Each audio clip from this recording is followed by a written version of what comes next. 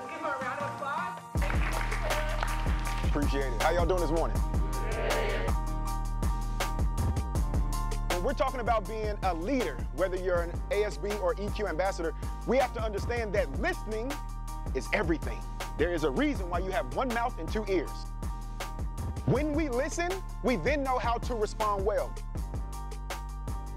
Do more listening than you do talking. You know what you know. Find out what other people know.